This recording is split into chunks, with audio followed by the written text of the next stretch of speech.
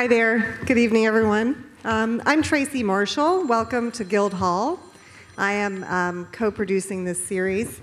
This is the second one in a series of three that we really thought this year, uh, well, the Hamptons. Oh, sorry, guys. I didn't know you were coming out right behind me.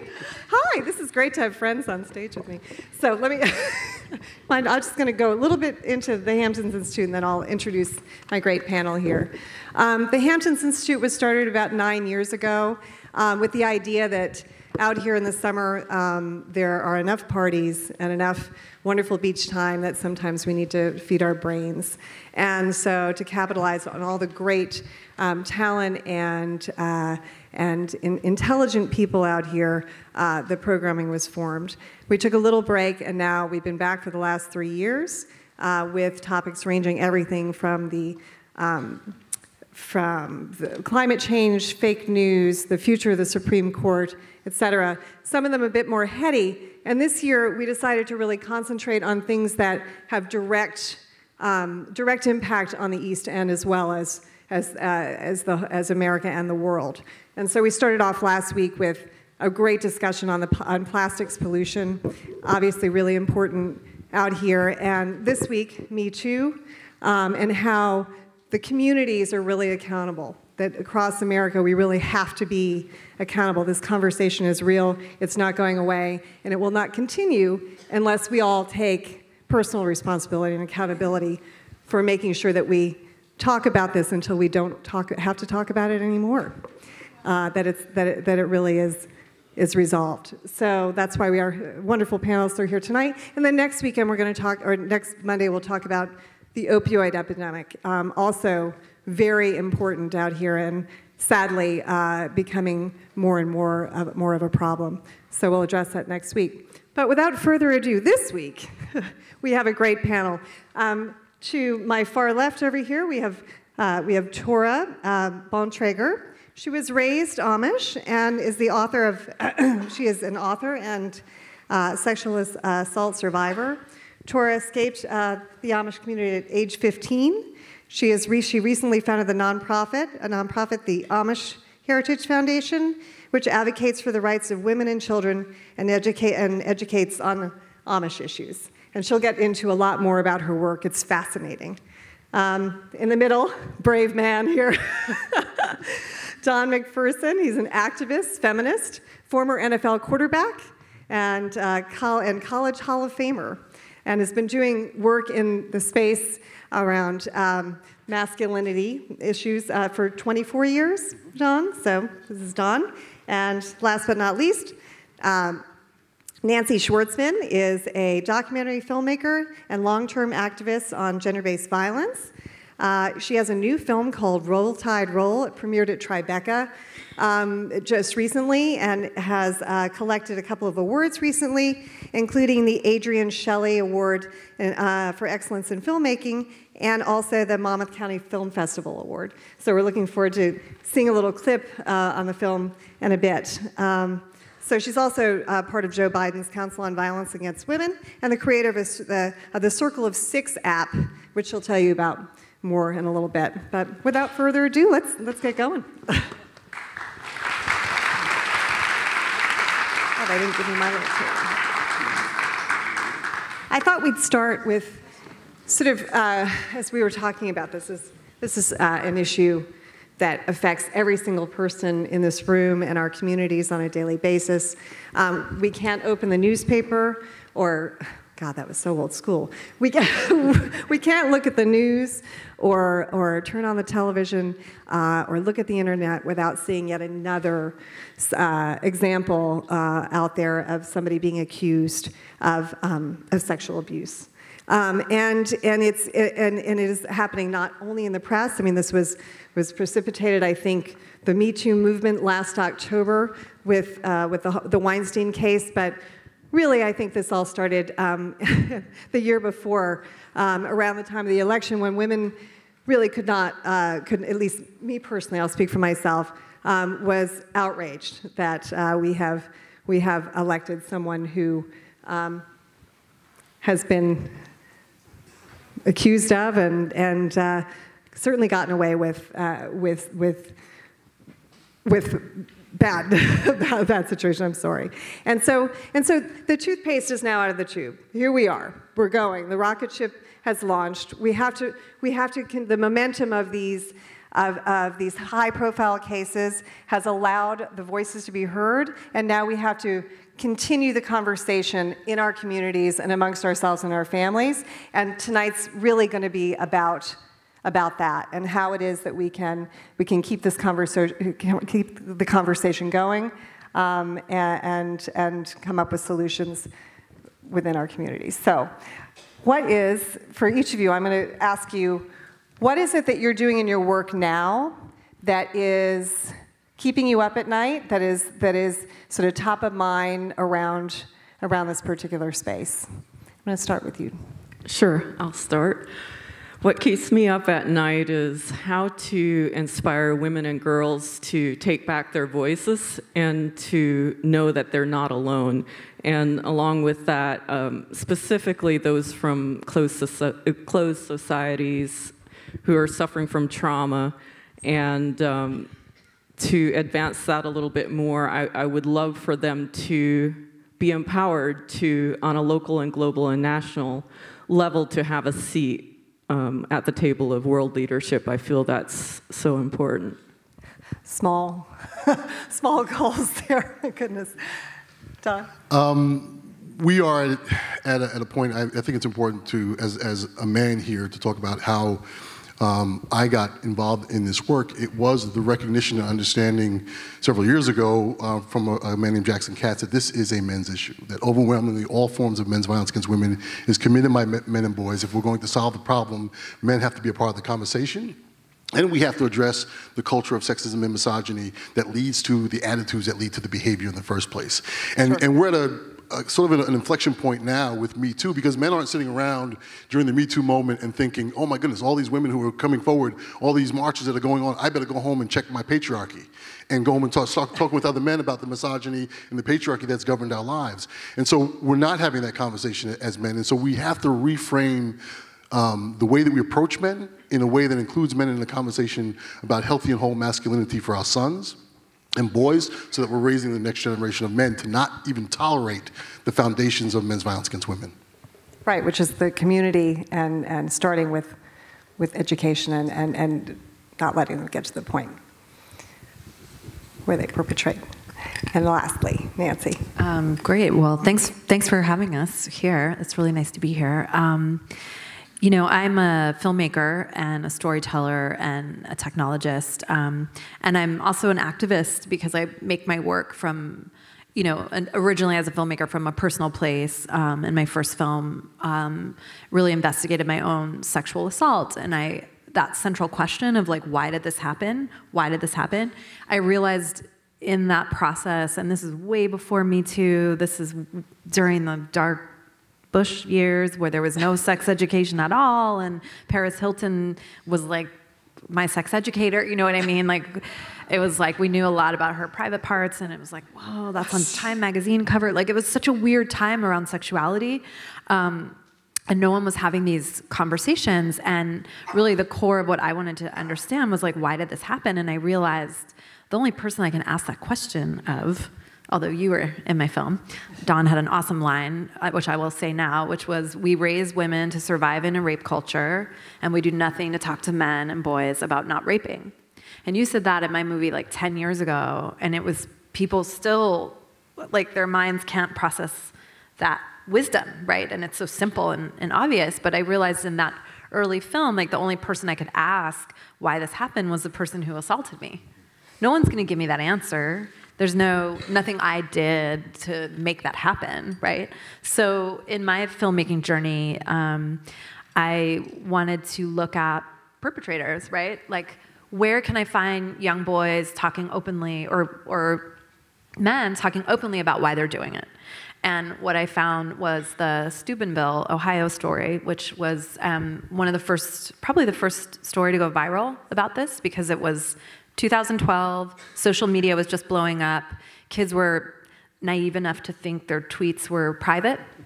So they're tweeting away like their text messages, and suddenly you can just see whole dialogues about people talking really openly about rape and perpetration. So that was a really long journey. We, we premiered at Tribeca. Um, so I'll show you guys a bit about it, and it looks at a small town in the Rust Belt, a football team. But, but really, that community could be anywhere. It could be an elite private school. It could be a hockey team in Canada. It could be, you know, all these different ways that certain kids are privileged over others um, and how that can like go wrong. So We're going to roll that Yeah, now, and it really is the clip. perfect kicking off for Yeah. a community uh, conversation about community accountability. So.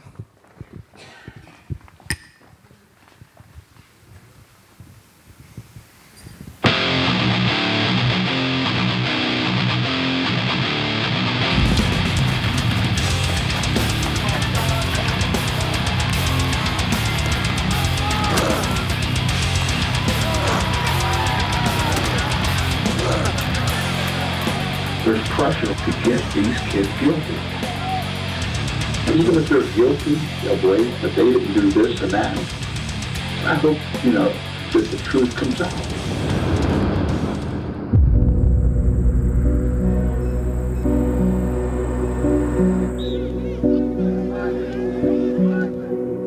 When I first read this story, there wasn't a lot of substance to the article.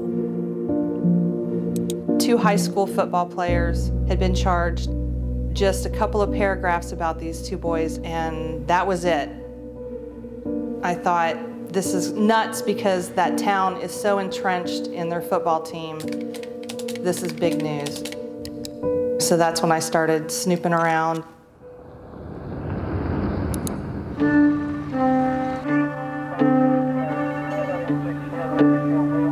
I had never seen a case constructed like this. That many people who have some information. This was a sexual assault with teenagers, and the cell phones told the story. We had photos. We had 400,000 text messages. It was on Twitter, actually. Song of the night, Rape Me. Some people deserve to be peed on. Just the complete lack of empathy. That was what was so frightening. I mean, it was all out there. You're always going to get two very different sides, but this was just at another level. We didn't know exactly what happened, but we knew there was a lot of defensiveness about it. I just didn't understand it at all I, because I don't think it's something that doesn't occur in other cities and states and counties all over. If teachers knew about it, if coaches knew about it, if a principal knew about it, if parents knew about it, why was nothing done about that? The question was, is this football town, you know, putting its daughters at risk by protecting its sons in a situation like this?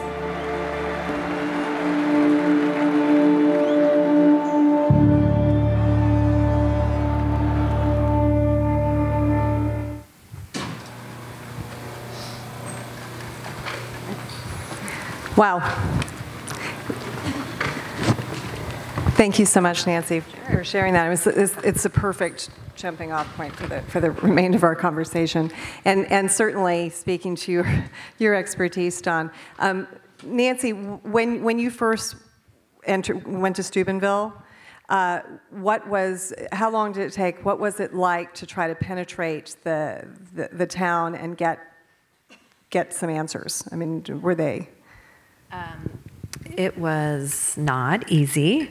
Um, I made sure to rent a car that was not had a didn't have a New York license plate. Um, it's a very you know the the international media really swooped down on this town, and already the town was not doing good about wanting to be transparent. There were a lot of women and men who were upset by the story, but because it's such a small community, they felt like if they spoke out, there would be repercussions. Like they could lose their job, they would be shunned. You know, there's this thing of like, you know, they got so defensive that if you tried to say, I care about what happened to this girl and rape is bad, um, they read that as you were critiquing their town and trying to destroy their football team. So I think there just wasn't there wasn't education or space for people to even begin to have this conversation without throwing the victim under the bus. And that's what like first and foremost really needs to change. Um, but I wanted to say that I also constructed this film to really play like a true crime thriller Right. with a lot of football and kind of with an aggressive, fast-paced energy because I wanted it to be for men and boys. Like that's the audience I wanted to craft it for.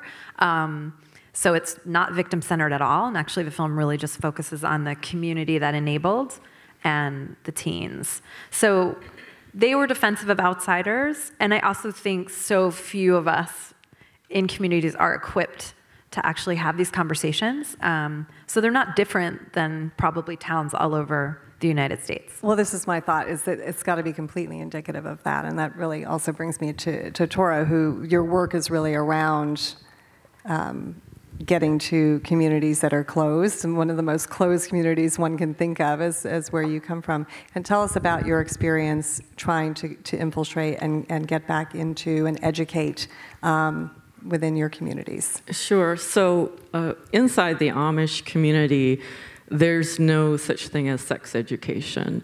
So I grew up, I, I didn't understand anything about my body. The only thing I did understand was that it's taboo. Um, there's all the shame associated with it. And um, how that plays out inside um, not only the Amish, but a lot of other closed communities, is that uh, rape culture runs rampant. And uh, the worst part, aspect about it for us, from my background, is that if a woman uh, who's a baptized member of the church uh, is raped, she has to go in front of all the other members of the church and ask the rapist for forgiveness for having tempted him.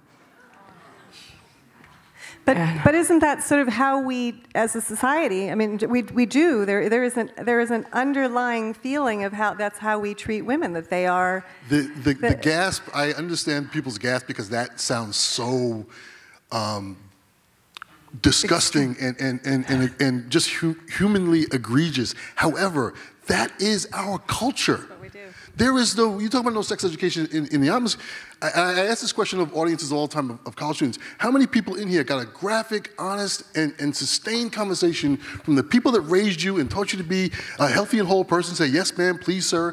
From those people, how many got a graphic, honest, and, and sustained conversation about your bodies and intimacy and sexual behavior and how we are with each other? How many people? I, I know it's dark in here. I see one hand, possibly, two hands, three hands. So the question is for the rest of you, where'd you learn it? the streets.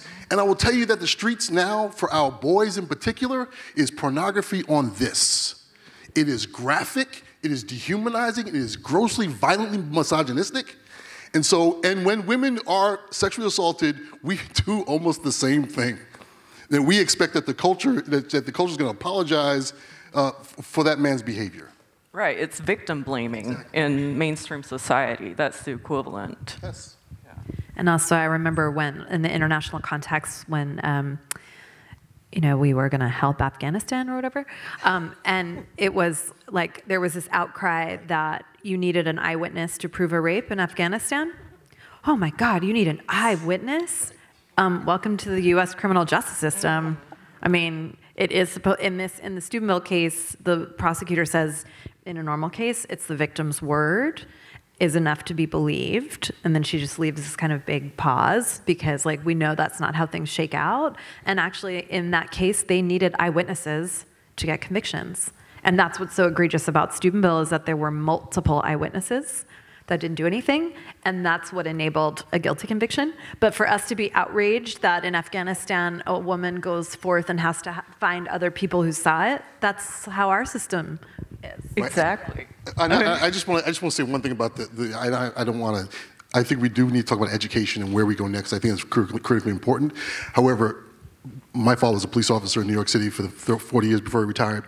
And DNA evidence, when DNA evidence was all of a sudden discovered, that was the hit, right? We had DNA. And I'm just going to tell you that you can get, like, again, with, with the film, and we can think about how this is an emerging conversation because of Me Too. Some of you may remember a guy named Jameis Winston.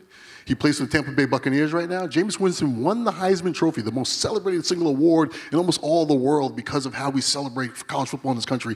Jameis Winston won the Heisman Trophy, and we knew his DNA was in a rape kit. We knew that. And he was celebrated as one of the greatest young athletes in our country. That was only a couple of years ago.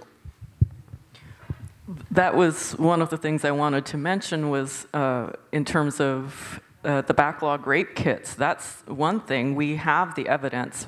But then for people like me who weren't able to even talk about what happened until many years later, the, it, it, the system protects the attackers. The system, the criminal justice system does not believe me over the attacker. They're protecting the attacker. And I can't provide DNA evidence. There's no one else who saw what happened. Uh, and it's by design. You can't continue to get away with um, repeat assaults if you let other people see it, usually, except in certain contexts, um, like your film.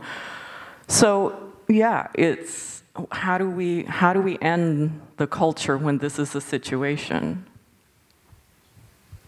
Right, Nancy. I know you. I know you. You also have your own personal story and how you. I mean, if if if the criminal justice system is not helping you, then how does one actually get the help they need? If you feel that that is that's disempowering, what what are we doing within our communities, and what should we be providing within our communities that does actually help and empower victims to actually call some call for some sort of justice. And I I don't know whether you want to comment, Nancy, on um, sort of part of your journey.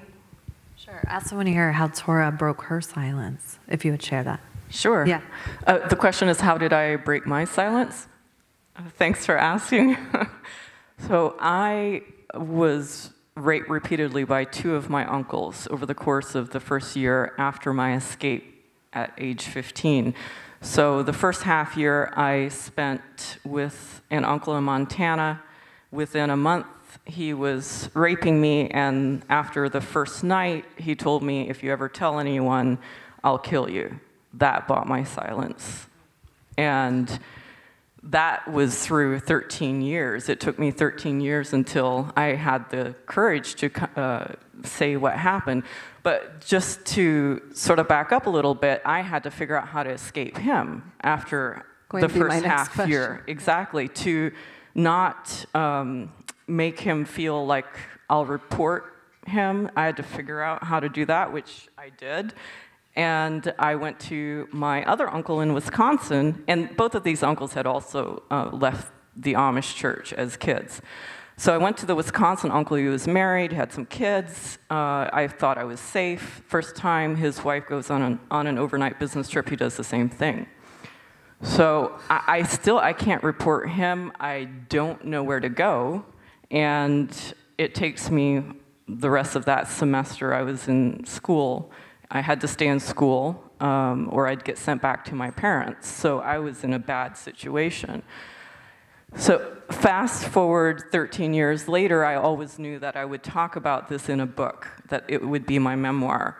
And I released that last year, early last year, and despite working on it for two and a half years uh, and sorting through, you know, this threat, I mean, this threat really had a hold on me. I, I was scared. And I won't, I'll never forget just that moment of pressing the button, you know, should this publish? And it was that fear. And again, this is before Me Too. Me Too took off October of 2017. My book came out in, in early um, 2017, and I started a podcast that was part of my way of addressing it, and I can go into that later. But that, yeah, it was just something I had to do, and I wanted other women and girls to know that this is not okay and to speak out and know that they're not alone. And Go ahead. Sorry. Sure. No, that's like an amazing story. And it's always when you hear, it's, it's like, you know, we're all pushing forward, doing work. I'm sure folks in this audience do amazing work every day. And you're just like, no, we're doing the work, we're doing the activism. And then when you just like stop for a second and think of the years and years it took for us, you, me, whoever, to like just recover. And then you do really see it as like a weapon, right? It's like, oh, men's violence against women is like a weapon because imagine sometimes I think, well, wow, what would I be doing if I hadn't, you know, spent five years making my first film, investigating my own rape and being vocal about it, and inspiring lots of people to speak about it. You know, it's it is about helping, but it is also just amazing. What would it be like if this hadn't happened and I didn't have to negotiate through it to then become who I am now? You know, um, yeah. But what, what was your question? Well, I, I, well, actually, the thread here is that so so Torah, you have your um, your podcast, um, and so I'm, I'm, I'm the, the idea of giving voice really is I, I think part of what we're we're talking about here that provides the opportunity for people to speak out, and the more that when you shared your story and you're both sharing these stories well before it was a Me Too moment. Um, do you find that uh, they, they, they find the stories find you? Your, for, tell, tell everybody about what you're doing in your project, which is fascinating with uh, documentation. Sure. So I realized that I could keep my memoir in the news for quite a bit, but at the end of the day, people are still going to say, oh, it's an isolated incident. So I came up with the idea for this podcast, and I, I envisioned releasing a new story of a sexual assault survivor every week. I felt that uh, if that happened, then no one would be able to deny it anymore. You know, it's not just me saying this, and it's not just once a year or who knows how long. It's every week. And even though I was looking specifically for Amish survivors, I wanted anybody and everybody to demonstrate that this does not discriminate. I mean, this happens in all sectors of society and uh, all over the globe. And um, even though I haven't released a new story every week, the Me Too movement came along. And I feel, you know, that was kind of enough of us who have been working behind the scenes for so long that all of a sudden something triggered and um, took a hold and just kept moving. Sure. And the, and the idea of these, especially the marginalized societies that are living in, in places where the Me Too movement is, it's, uh, you know, it's in the news, but it really certainly hasn't, is not universal. And so the efforts to try to make sure that the small towns, as you were mentioning, Steubenville certainly doesn't, is not opening their arms and, and other small places where, where your stories and, and the stories that you're telling and the work that you're doing can em empower people to, to support each other. What specifically um, are, should some of, should communities be doing to, to um, certainly um, support what is not happening through our federal government and, and all the cuts, which Nancy can speak to. But um, what, what should they be doing in order to support the work that, work that you are already doing? I just wanted to say something. Um, you know, there's a, a line in the film where it's like, you know, if there's a group that's really important to your town or your team, or they're the funders, or they're the religious leaders or they're the coach it. You know it's like where can we all look in, in, terms of like who gets away with stuff and who doesn't?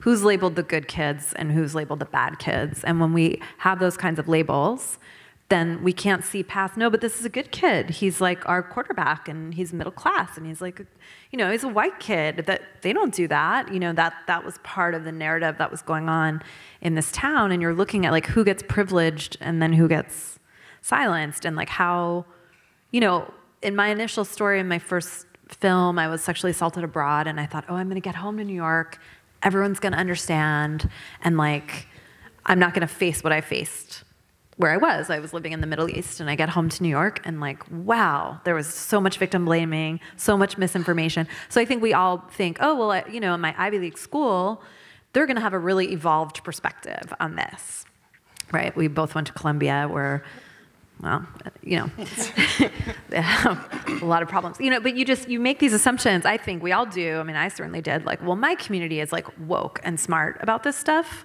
and then you have conversations that are just shocking, right? Like, there's so much kind of misinformation or, um, you know, desire to hold up the status quo a bit.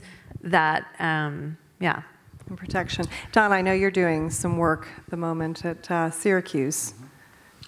Well, a lot of the work I do is, is in and around higher education on this issue, and um, I think there's a a point about this conversation that we have to engage men and boys in this in this conversation, and we have to do so in a way that is sustainable. And very often, the dialogue that's going on right now is not a dialogue where, as I said before, men are thinking that we want to be in, involved in the conversation. So we have to look at um, how are we going to get men engaged and for what reasons. And sometimes it might not always be the reason that we all think it should be. Uh, and then what do we, how do we engage them? And so one of the things, if, if you follow, sort of even before Me Too um, was the Dear Colleague letter that came out of um, the uh, Andrea Pino and, and, Annie Clark, two students at, at uh, North Carolina who used Title IX to um, force their institution to address their sexual assault at North Carolina. What's happened in higher ed uh, over the past couple of years is that women's voices have been heard and the voices of victims have been heard, uh, but men still are not engaged. And so what's happening now in higher ed, which is similar to the Harvey Weinstein and Bill Cosby outside of higher education, is I refer to as the billion dollar problem. If you take Baylor University, Penn State University, and Michigan State University, those three institutions, over the past couple of years, several years, because of men's silence primarily about predatory male behavior, predatory sexual male behavior, those three institutions are, have, have paid out or will pay out more than a billion dollars. And at Baylor, that's over 220 million currently, and those numbers come from January of 17, Baylor has yet to start paying claims on 52 outstanding rape cases. And so when you look at the billion dollar problem, we are at the tip of the spear in so many ways as men. And in higher education, okay, now what do you do? What is your role as an academic institution, as an educational institution, to address this issue? And that's when we have to talk to men in a very different way than we have in the past. Great, yeah. Agreed. And and so what are what are what are you doing? I mean, this is how, how are you speaking to them, and what is uh, you, you must have colleagues in the field that are doing it, or is it not? I mean, this is. I you know one of the things that and and men like myself came to this work, and I mentioned Jackson Katz, who was my mentor. But really, in reality, men came to this work because women invited us into the space. And women said, if you're going to be an ally, if you're going to be in this work, we don't need more police. We, don't, we need men to go talk to other men. And so essentially what I've been doing my, most of my career is at the, at, the, at the behest of women, I've been using my privilege as an athlete um, to go and talk to men about dismantling that which gives us privilege, which is a very tricky thing to do. And so one of the things that, that's happened as a result is that we have, listening to women and being accountable to women, we have been talking to men about things like toxic masculinity and redefining men. Well, that's not a really a positive conversation to men to engage. I imagine the audience, again, with the lights I can't really see, is predominantly white people, right? Can you imagine if I walked in and said, you need to deal with your toxic whiteness?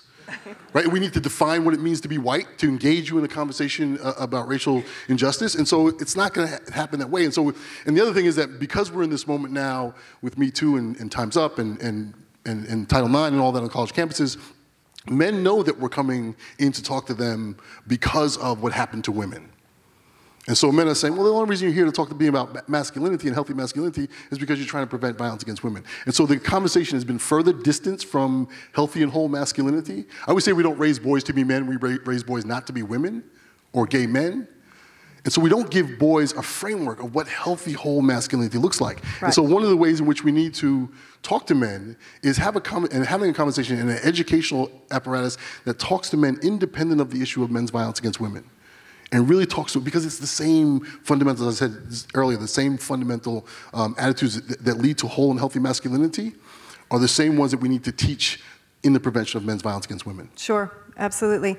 And it makes me think about the things that I hear when I talk to, when I talk to people in, in terms of I'm sure it's a challenge speaking to men because there's the defensive nature of the conversation, right? And one of those things is, well, geez, you know, all of these things, all of all the things that are coming out from the horrible Weinstein down to um, sexual harassment in the workplace, um, and this fear that we are painting it all with one brush, and that all of these men are painted with the with the same brush. And I, I posed this to to to the group earlier, and and Torah, you so well defined sort of what what the boundaries are, and uh, please tell us.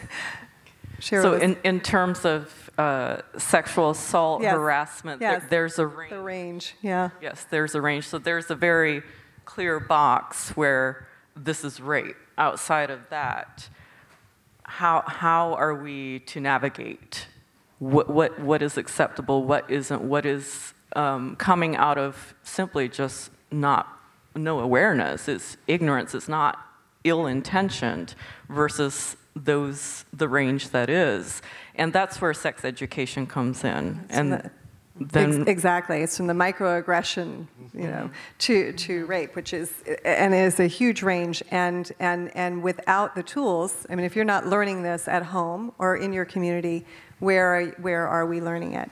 Um, so, Or in your school. Or in your schools. Which was, you know, we were talking about this. There's oftentimes a lot of pressure on parents who need to do better and know more. And a lot of times teenagers are running wild, and people are like, well, where are the parents? And certainly parents have a part to play, obviously, in doing this work, but they're not sex educators, they're not public health um, professionals necessarily. So in Holland, they have incredible sex ed designed by public health educators that's feminist and consent based, and that is blanketed through the schools. Like, we don't have that. I mean, how many people had sex ed in their schools? It's hard to see.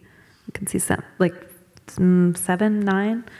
I- and that's not even asking if it was like good and thorough and sex positive and didn't make you feel ashamed for, you know, being a woman or engaging in sexual behavior, you know. So it's like there's all this pressure that we have to learn it at home, but I got some very weird sex ed from my mom, who's a lawyer, who was like, "You can do whatever you want when you're 18." That was like it. Yeah, same, a similar thing. You know, I, I remember, are you having sex? I remember a, a, a woman at a conference many, many years ago, and I stole this line from her because she talked about, I always talk about how prevention language and scare tactics don't work when we're trying to talk to young people. And we use prevention language and scare tactics because we're uncomfortable with the reality of our, of our lives. And this, I heard a woman say that we tell, stu- we tell young people that sex is dirty, immoral, it's going to cause unwanted pregnancies and STIs, but save it for the one you love. right? And, and, and just if you think about that, and as adults, we feel like we've given. Meanwhile, as I said before, they are exposed to so much that we can't even talk about parents not being aware. We're uncomfortable even if we see it, and to them it becomes normal.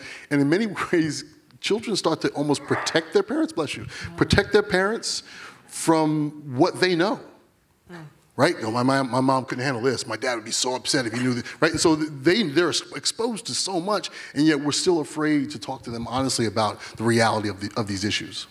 Sure, Torah, with, with your work, I I mean, obviously there's so many boundaries, but I mean, are you making headway and getting to speak to people within the communities um, and, and talk about a baseline? I mean, to have zero information um, to, to actually trying to engage with them in a way that is helpful.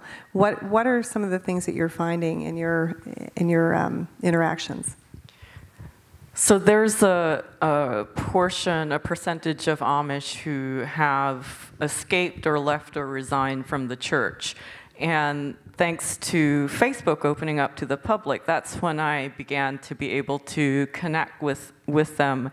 And what I'm doing now through the nonprofit work is to create support groups online on Facebook and to host monthly sexual assault survivor advocacy meetings um, that they can connect to uh, via video online to create a safe space and to just talk about what what healthy sex is, positive sex, what's acceptable, what isn't.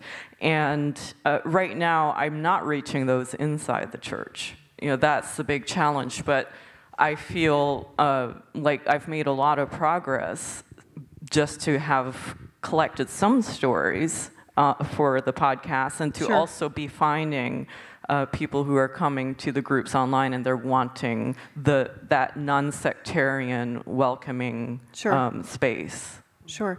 Tell us about Circle of Six. Sure.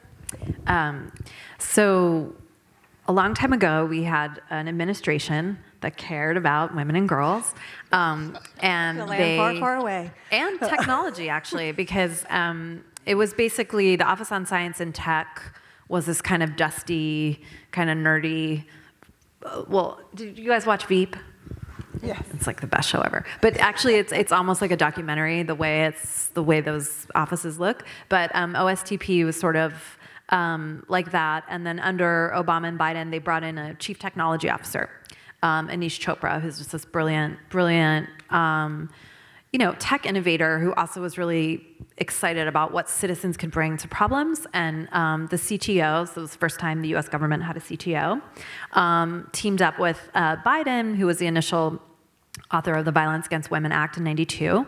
And what they had seen over the years was like uh, violent, uh, violence against women was decreasing in a lot of sectors, um, but not the college sector. And now obviously we all know that campus assault is a huge issue, and that's primarily in part to student activists, but also that the federal government was putting so much attention on this 18 to 24 um, year chunk of kids, right, who's going away to college, who suddenly has no rules and no no parents and alcohol and uh, no sex ed, and it was just this pressure cooker for violence. So. Um, they decided to put forth a challenge um, to see if we could build a mobile app um, that address violence against women and could reduce the numbers in that bracket. So um, from my first experience with my first film, The Line, I had spent a lot of time with young people talking about consent, healthy sexuality, and I learned so much from them in, in talkbacks after the film about where they were experiencing violence, how they were experiencing violence, what they could have used on the ground, what they sort of needed. So when this challenge was um, put forth, it was like build an app, see if you can win the prize. Um, I was my first thought was like, I can't build an app. I'm a filmmaker. Like I don't I don't know what to do. Um, then I built a team, and you know taking from what I had learned, we created a tool called Circle of Six, which is really, really simple. Um, you, you put in six people. It's, it's basically a harm reduction tool, which is meeting people where they are. Oh, it's 4 a.m. on a Saturday night and you need to figure out how to get home. Well, you've already put six people you trust into your circle. You've already alerted them they're in the circle. They know about it. You've had a, a low key conversation about, like, hey, can you have my back? Like, if I'm out. So it's sort of, I don't love this term, but it's sort of the buddy system. It's things that, young women have done forever when we go out clubbing, when we're on spring break, when we're like, don't leave without me. Where are my people? So you don't have to figure this out at three in the morning, and you've already had these conversations. And the other piece about it is because you can bring six people in, a lot of guys are part of people's circles. So suddenly, men who are starting to recognize, okay, this is a problem. My girlfriend's an assault survivor my dorm mate, you know, I don't know what to do. What can I do? So the tool encourages you to A, get informed, like, here are some links, like how to listen to a survivor, where to send a survivor. Don't be the white knight showing up with the baseball bat saying, I'm gonna kick his ass. Like, that might not be useful. Why don't you say, what do you need? You know, so there was this, and because it was technology, there was this very low key way that the information got disseminated. It wasn't politicized, it wasn't um, feminist, right? It was actually just useful because it's a tech tool. So I've, you know, we've had military bases adopt it. We've had a lot of Republican support for it because it's just a simple, beautifully designed um, tool that um, is gender neutral and very inviting for any and all circumstances. Um, we have 350,000 users in 36 countries. We have an iteration in India. We were on 10 college campuses. We are building out now an encrypted version for women journalists in Mexico who face um, the highest levels of violence doing journalism work. So they need to be connected, they need to safety plan, they need to trust the technology. Um, and it's a very small but move, growing field of like survivor led tech because a lot of the technology was like, oh, panic button, hit a button, you know, go right to the police. Yeah. I was like, okay, my app is never linking you to the police as a default because you're probably underage and you're probably drinking.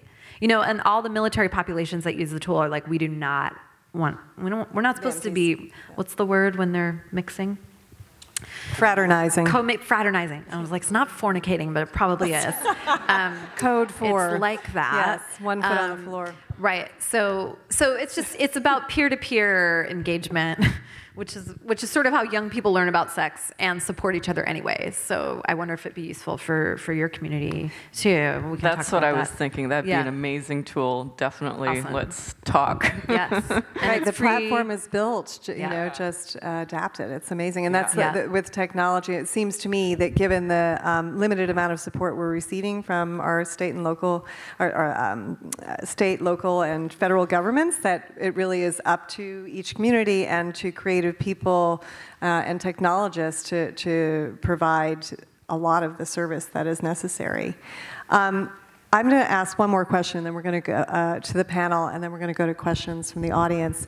But if you, and, and this is, you know, the magic wand question. If tomorrow you could solve one aspect of this issue and you had the power to do it, what would it be and how would you do it? There'd be unlimited funding in terms of hard dollars for all sexual assault survivors to pursue justice if they so desired. And um, the money, we can easily get it from the defense budget. Perfect. yes. Or, or, or, the whole space thing, right? All right. The Space Force. Um, so I, am I'm, I'm too stuck in my head as an, as an activist to um, think that I could wave the wand. Um, what I'm trying to do at my alma mater and, and, throughout higher education is to reshape the way that we look at this issue.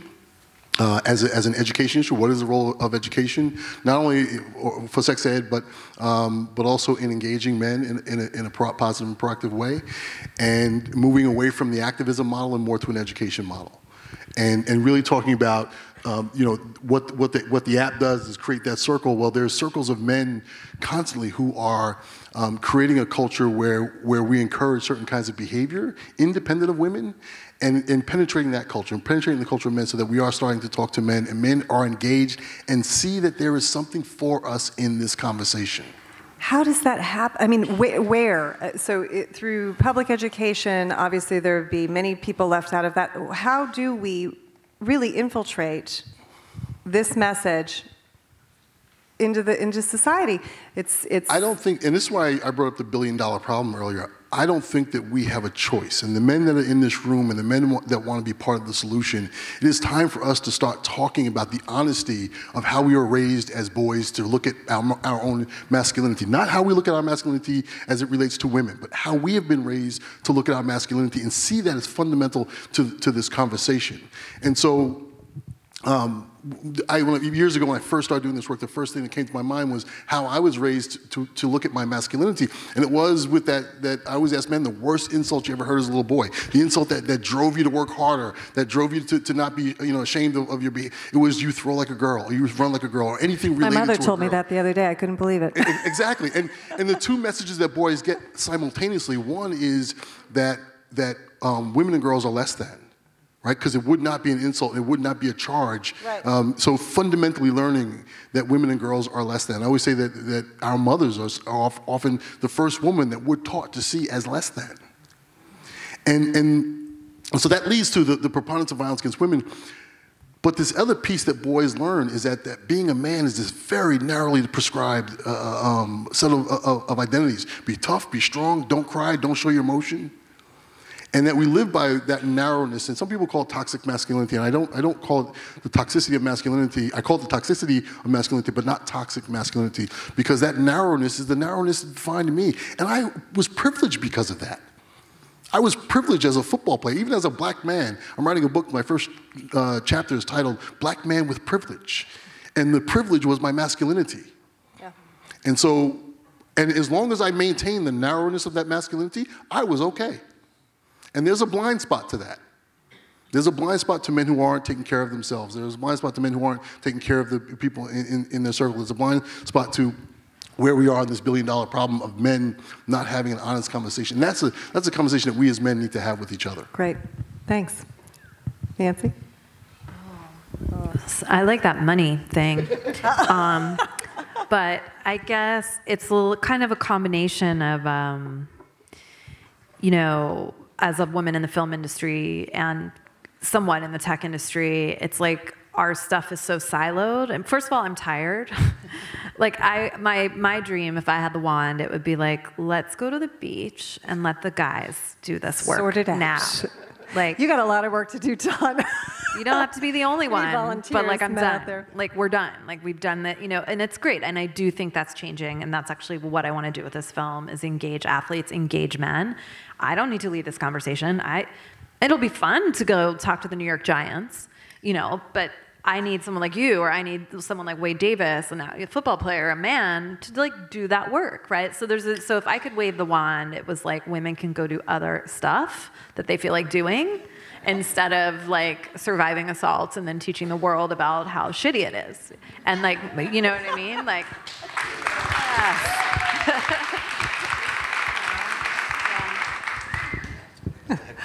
Perfect.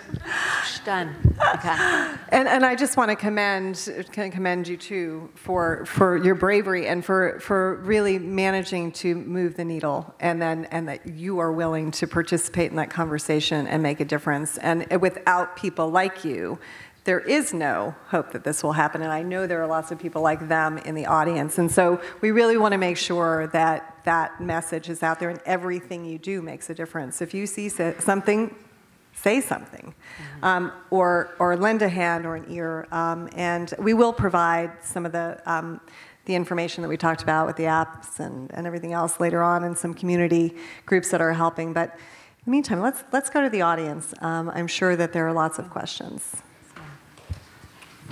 What a nice room. I know. She said Don hadn't seen this yet. It's a cool spot. Okay. All right. How about this, this gentleman um, right here in the blue shirt?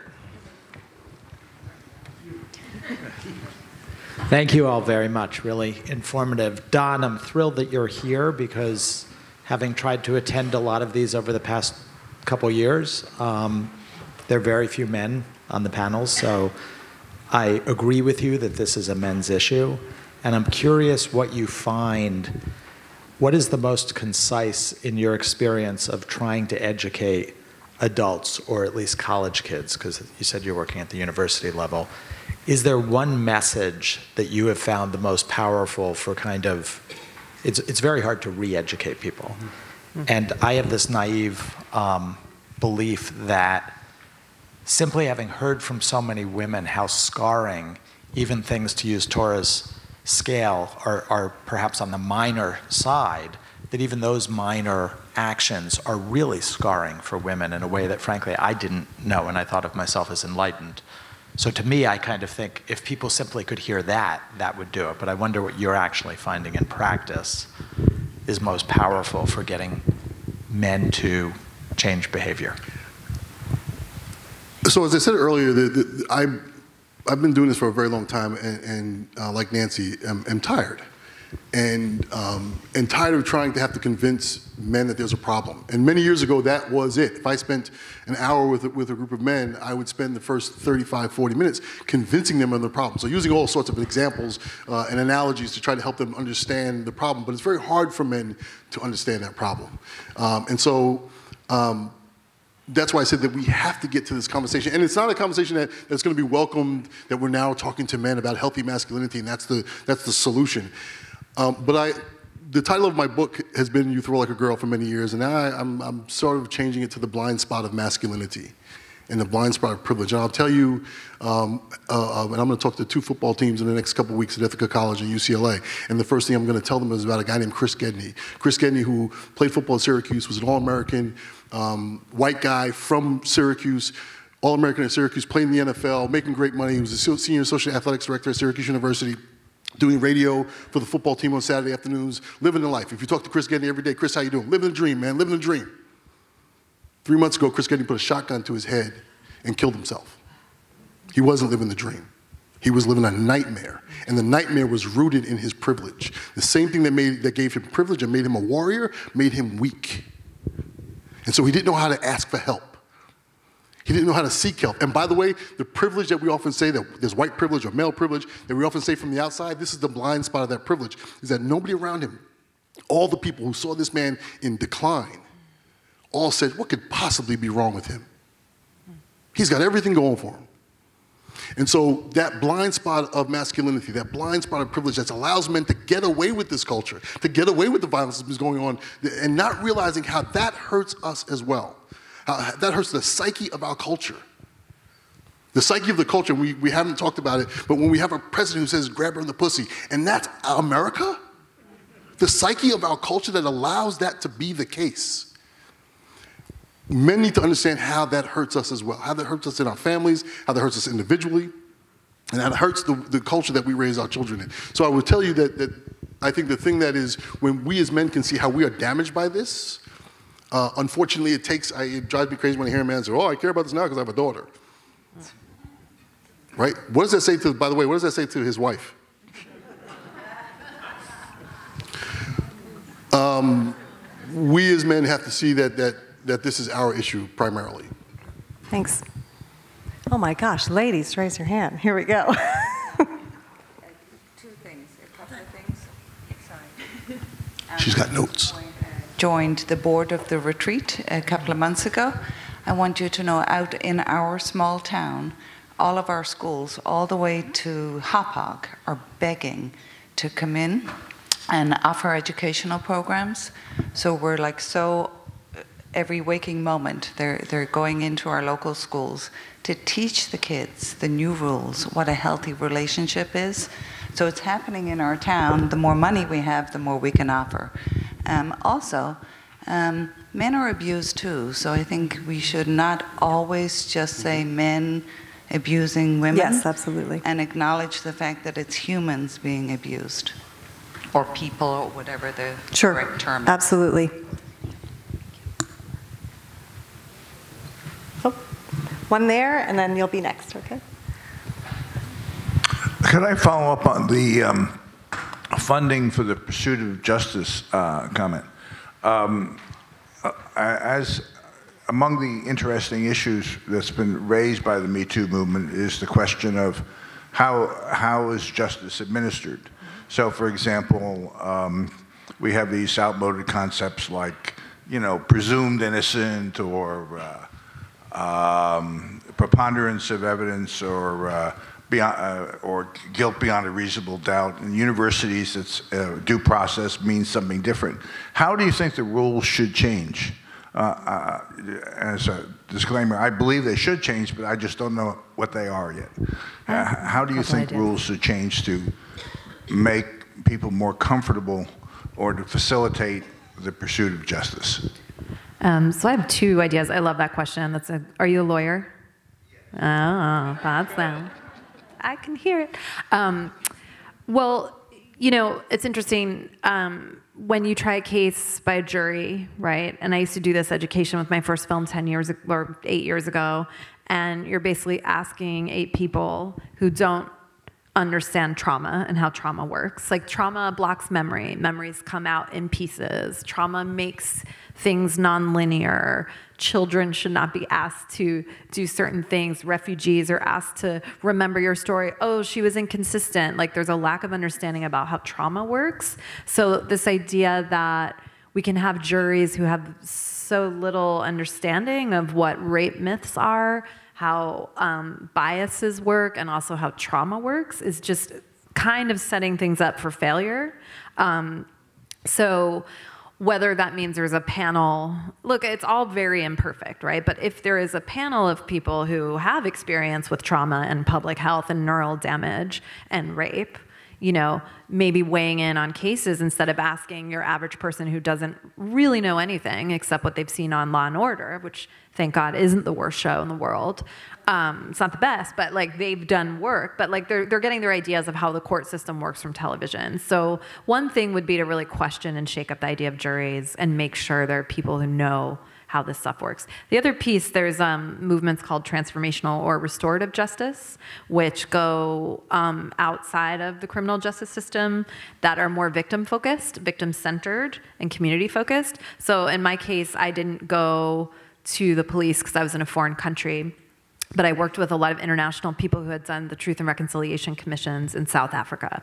Like, how do you heal a civil war context? Like, how do you heal when you know your neighbor was doing these terrible things and now we have to live next to each other? Like, what do we do? They're all they're imperfect process, processes. But what I learned from that was it was so empowering as a victim to say, well, it's all what do you what do you need? Like, what happened? A to even be asked like, what was lost for you? How much money did you spend on therapy? Um, what did you lose? What things did you stop doing? What jobs didn't you keep? Um, is that a number tally? Do you want, you know, financial compensation, or you just want to be heard? I actually wanted to meet with my offender in a space that didn't tell him to deny everything. So when you go into court with someone, the lawyer's saying, deny this, deny this, cop to this, say you didn't do that. So for the victim to hear their abuser say, nope, didn't do it, nope, nope, nope, is so painful when actually what I wanted to hear was this person just admit it. But our system is set up so that this person is not going to admit it because then they're going to get punished even years later. So I think if, if we could listen to survivors and victims about what feels holistic for them, I want to face this person in a safe way. I want them to hear me. I want the community around us to hear how I was impacted. I want them to try to understand, and I want compensation. Do I want this person behind bars? I don't know. That depends. Um, you know, that, that depends. But I think just like our black and white, I, I think there's ways to look at transformational justice that, that do better things for victims. Tori, you had something. yes. uh, so, um, all the points that you made, yes. And along with that, I just wanted to be believed by the criminal justice system. One of my detectives um, in the Wisconsin case closed out my case and didn't even conduct due process, didn't investigate my uncle. And to date, it's been over two years, has not informed me that he unilaterally closed out the case. Now, the question is where was the DA involved in that? Why did the DA not follow up and say what happened with this case? Um, to me, a solution would be for there to be some sort of liaison, independent liaison who's there to help the victims through that first step. Like while they're going through trying to get, um, you know, talking to the detective and trying to get the case uh, uh, to the point where it goes to into the system.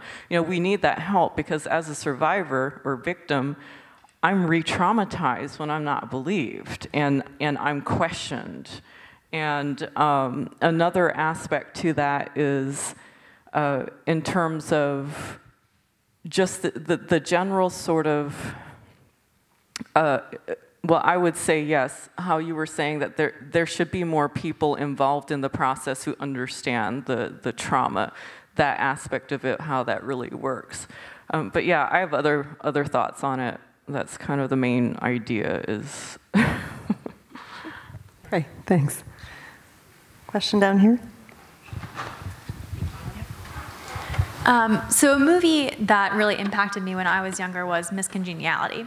So there's the scene where, you know, she's like trying to come up with something. And she's like, I'll just teach women how to have self-defense. So I kind of have gone about in the world with this very touch me and I'll break your arm kind of mentality.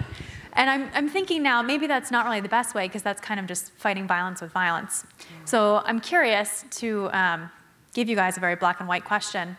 Let's say time and money is always the biggest thing. You had $10 million in 50 hours.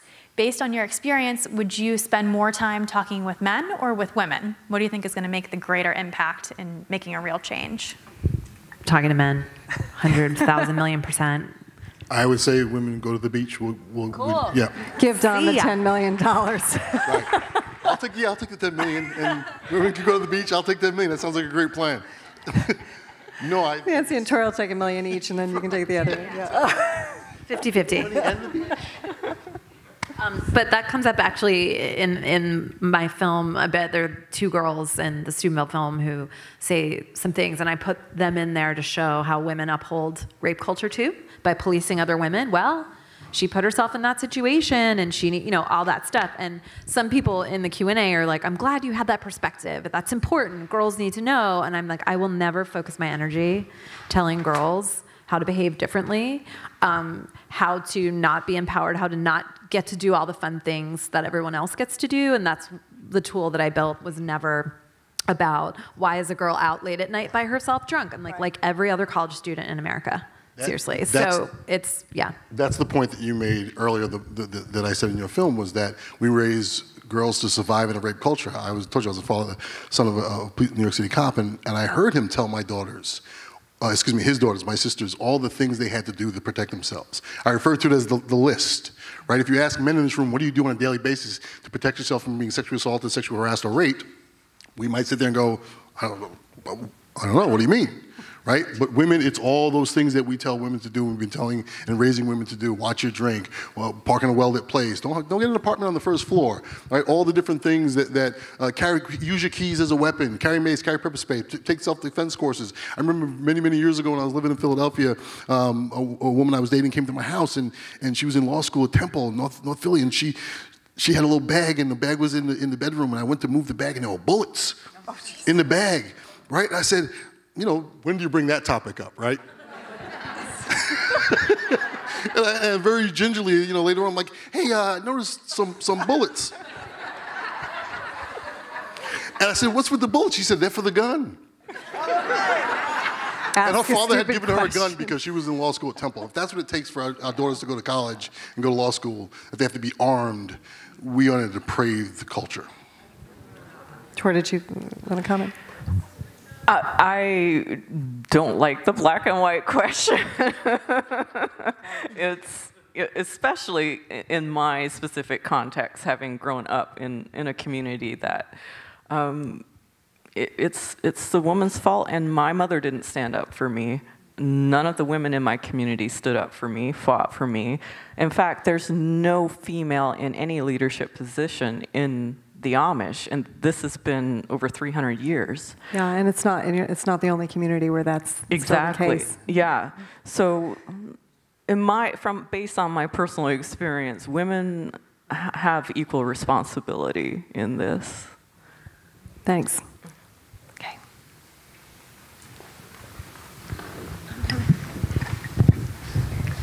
Following up on Don's point, and I know Don's work for many years now, he's really terrific, and this has been really a very good discussion.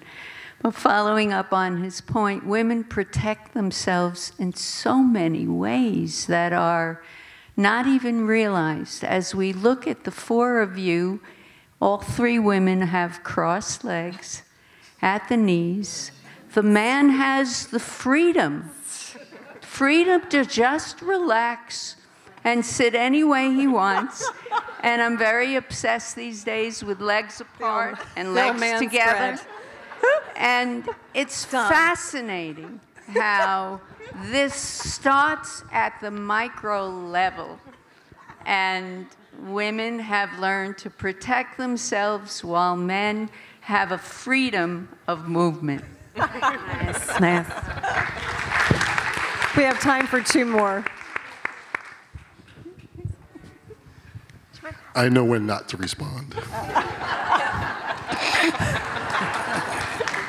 Uh, This is a a two-part question. Uh, The first part you've sort of partly answered, but I was wondering, this is uh, for for Torah, if there's something about closed communities, and I know you already said women don't have any leadership roles, but what other aspects of closed communities do you think actually foster sexual abuse? So that's like the first part of the question.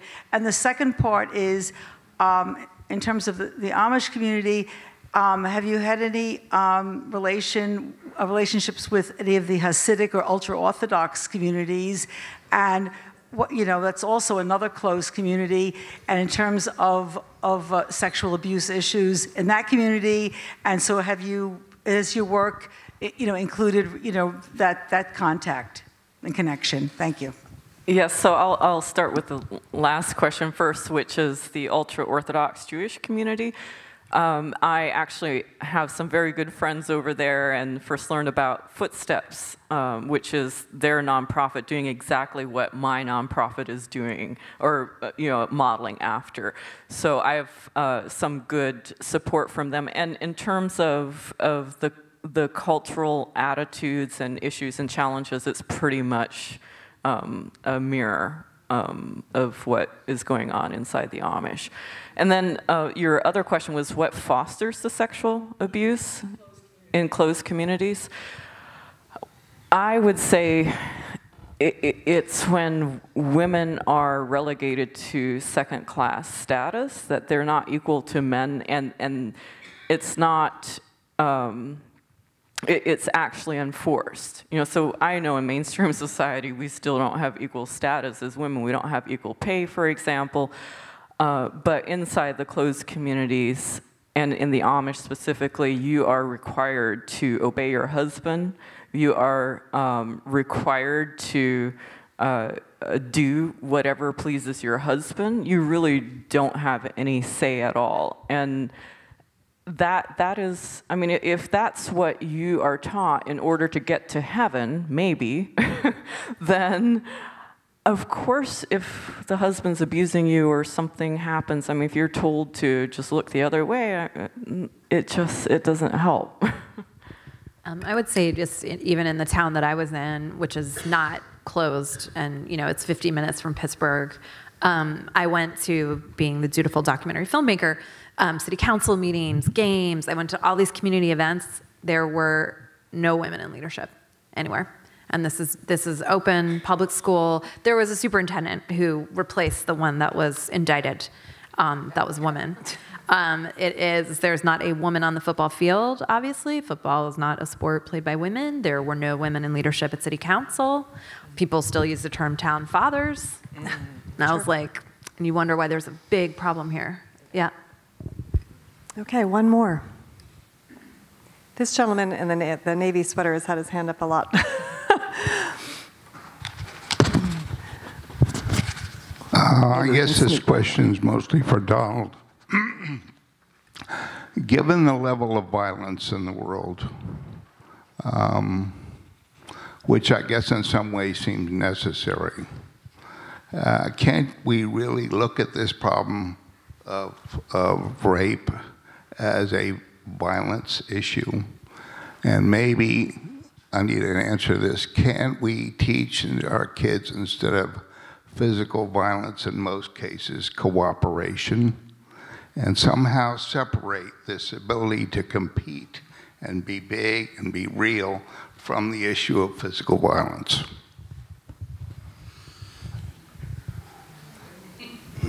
Um, I think I think I understand um, the question, and um, I think we also have to understand rape in, in, a different way. That it is it is is a violent act. It is not a sex act, and it is violent. However, and this goes back to my point earlier about where young men are learning about sexual behavior.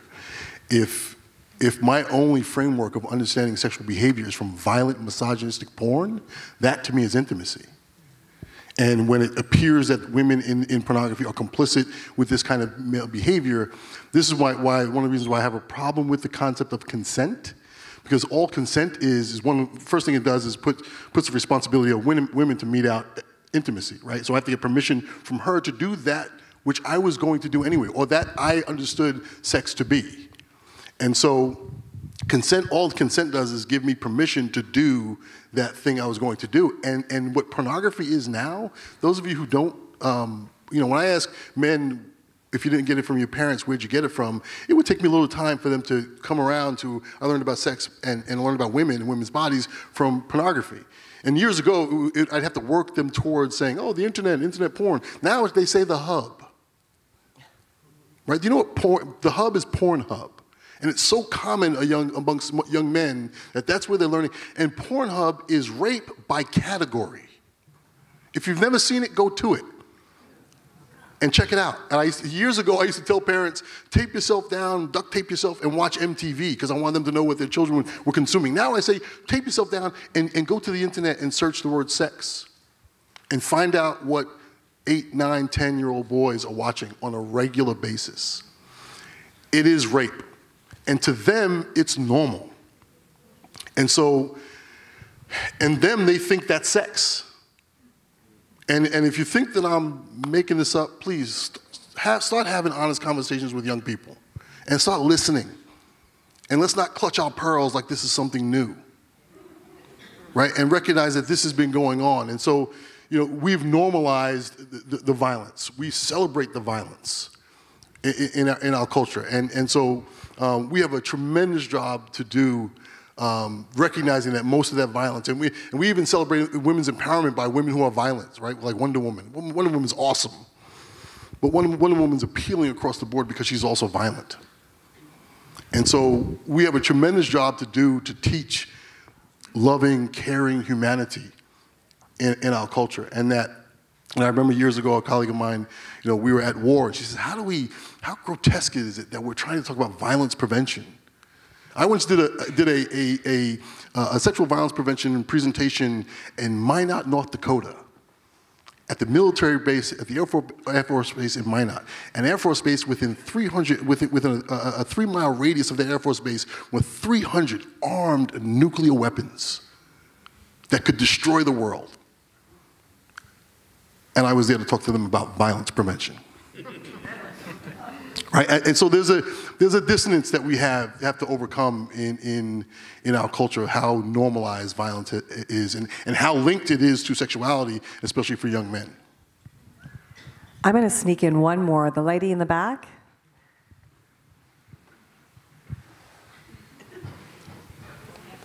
enjoyed this so much. Um, Don, uh, since uh, higher ed, it is, there's been such a, a tremendous problem on college campuses, and uh, you spend a lot of time on uh, in higher ed. So, if Michigan's, Michigan and Penn State and Baylor are examples of Michigan how, State, just want to get that right. I'm sorry, Michigan State. I'm sorry.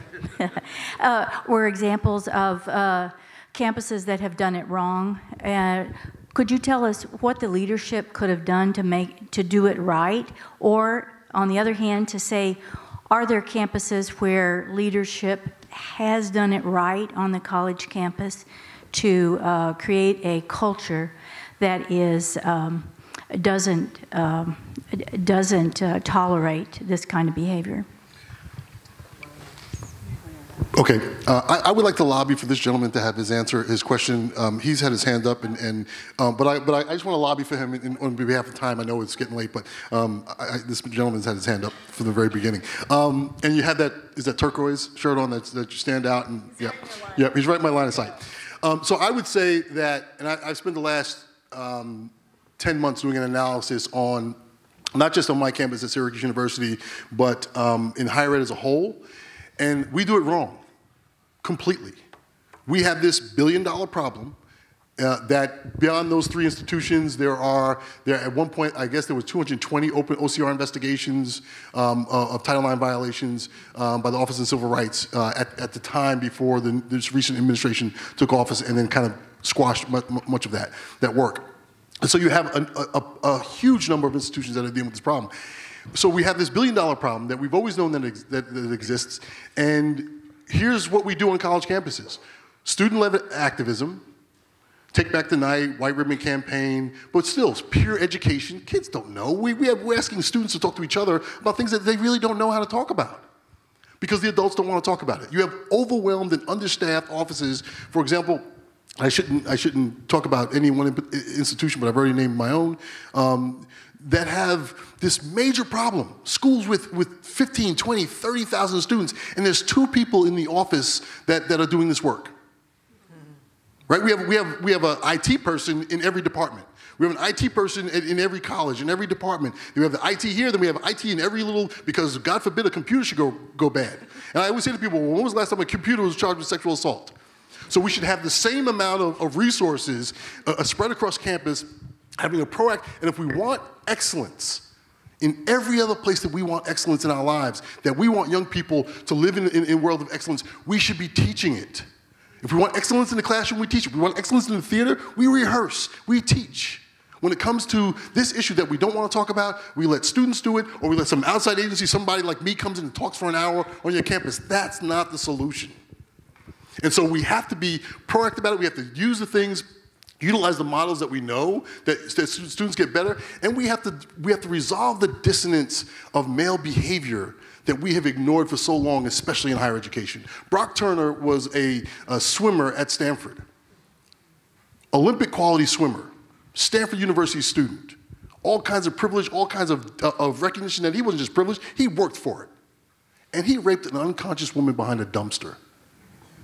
Where is the dissonance in our culture that says, where are we letting boys down to the point that they are hurting women to this extent?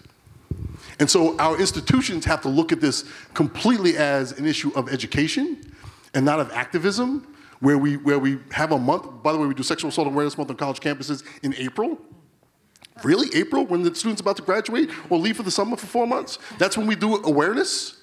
And so we have to do a better job on campuses to look at this as an education issue and not an activism issue. And it's um, yeah, um, it's also a CYA issue. Cover your ass. So I worked on a bunch of campuses with Circle of Six, an app that's been proven to reduce, and I'm like offering it for very little money. And what do they have on campuses? Blue light boxes. Oh, because I'm gonna go on a date in front of a blue light box. Um, I had my university, Columbia University, tell me um, when I presented the app to them, and we, we had nine partners. I'll tell you one school that did it right and did it really smart. Um, literally say, but what about the student at Columbia where I think tuition's $100,000 a year? What about the student that doesn't have a smartphone? I was like, what about that student? Find me that student, A. B, if there is that student, you, Columbia, buy them a smartphone and just stop. So there's just a massive level of just I love the the laughter because I was like, I'm trying not to laugh in your face, but you have a woman carrying a mattress around on national media about your problems, and you don't want to put a tech tool to test. So Williams did it well because instead of what the CYA most schools do is hire, they took their little tiny bit of money for their two staff people, 100, 150,000 dollars to put towards prevention. They hired lawyers who were Title IX compliant lawyers. So all that did was take away any education, any education, first month of school. Um, I tried to, oh, you should play my film. Don and I can go talk. And they said, well, we have 45 minutes at the beginning of school and we have to talk about binge drinking, suicide, and rape. So we don't, oh, that's all we have. So education's 45 minutes. They got rid of that. They get the lawyer who's just teach, telling the school to be compliant, right? So the one school that's doing it well is they hired a prevention director. It's a much smaller school. She has training in, in education and violence prevention. She rolled out Circle of Six all year, did focus groups at the beginning of the year, at the end of the year. Kids were intervening on situations that looked uncomfortable for kids they didn't even know. So it starts out in a small circle, and if you teach around it suddenly, and they weren't girls were tweeting about that on Yik Yak, which is a campus thing people do. She said, Oh, whoever that guy was, I really appreciate it. Thanks for cutting in. So you can shift the culture if you check in with your students every three months, if you do programs not just in April, not just in September, but throughout the year, and you hire people that know what they're doing and you prioritize it. So they're still in their like little legal CYA situation, which isn't helping because they're still paying out millions of dollars, and someone is still making tons of money on those blue light boxes. Um, yeah. The gentleman in the turquoise. We do have to be somewhat brief. My real question is this. I've been hearing about the ju- judicial system, the educational system, uh, culture, the churches, all being responsible, and that maybe if a lot of money was pumped in to help them, that we might somehow relieve the problem. There's an elephant in the room that we all seem not to be addressing, and that's biology. In other words, to what extent, if we did all that money and did all that education, would this problem not go away? Because it is basically built into our genes. So, um, Aren't you glad you took that question? No, I, listen. Let me let me let me let me just say this because it, it's it's it's a um, you know I remember being at a conference once and and I got a question even like more ooh than that right that made people uncomfortable and it, that is a, a, a, a very important question and it's an important question because there are other people in the room who may be thinking the same thing. It's a very important question that, that, that you're thinking as a man in, in our culture is sort of that, well, isn't this just, you know, men are the dominant species and, and, um, and we're supposed to be bigger and stronger and all those things. And, and those are, that's an important question because it is at the core of our inability to have the important conversation. And I can agree with you, right? I'm the biggest person up here. I'm, I'm spreading my legs, Man and all those things, right? And and at what point, and at what point, as a man, if I had this power and this privilege, at what point do I understand that, that my power and my privilege comes from the oppression of my sisters? My power and privilege comes from the oppression of them. And therefore, it's not truly mine. And at what point do we as men live in a world where, because I'm bigger and stronger, and, and physically bigger and stronger, and because um, of my biology, that I get to ignore what's happening to the people around me? I don't personally want to live in that world, right? That's the world that we're, we're in now. And so it's an argument. It's an argument, and, and, and this is the part, I think, to Nancy's point a moment ago, it's an argument that we better get comfortable with the argument. Right? We better get comfortable as a, as a nation because we are going to have, and we're going through this right now, a lot of reconciliation to come back to where we are in our humanity. And, and, and the difficult conversations that we need to have. I mean, you actually have people who are saying um, that I'd, I'd, rather be, I'd rather be a Russian than a Democrat right? We're, having this, no, I'm serious, we're having this, this, this, this erosion of our civility and we're, and we're calling it patriotism or we're calling it my place and my, and, and at some point we're going to have to get, have a conversation that moves us past the fundamental, because I am this, I get to be that. And we have to find a way to help um, as a society and to help our children to be able to have that conversation. So I, I take that and let's, let's go have a beer and talk about that.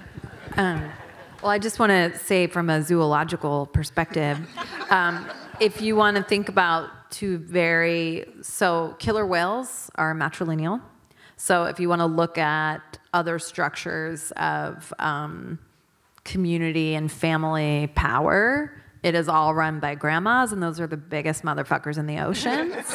and then if you're on land, another mammal, nasty fighters that you do not want to get caught up in, hyenas are matrilineal. So it's interesting because sometimes we all think we're so stuck in our thing of this is how it has to be, and like, man, you know, patriarchy and oh, the bonobos, the good chimps. I don't know if you guys know about bonobos, but that's like a whole other a whole other discussion. That's a whole other conversation because like they get uh, co-opted into another community. But um, polyamorous uh, people talk about them. But um, but from a non polyamorous bonobo perspective, it's interesting to look at how other mammals function, right? In a more peace building way, in a more cooperative way, to your point about cooperation. Still using power. Killer whales are huge. Hyenas are insane hunters, but they're matrilineal. So that's just something else to look at. All these years, I didn't know your depth of, of zoological knowledge. Torah. Pretty fascinating. Yeah. Torah. I'm going to throw in my two cents, and that would be um, I would like to think that men would start to work on developing more compassion and empathy. Perhaps, like from a biological standpoint, women tend to be more empathetic. so maybe with all this education and awareness raising, men can evolve. maybe. There is hope. On that very cheery note. Thank you uh, to the panel. And clearly, like I said at the top, that the the conversation needs to be had until we don't have to have it anymore. And I really appreciate your furthering it, and I hope that you guys take it home and you keep it going. And I also want to thank, um, in addition to these wonderful panelists, our sponsors who made all this possible. And I hope that you'll all join us next week for the opioid conversation.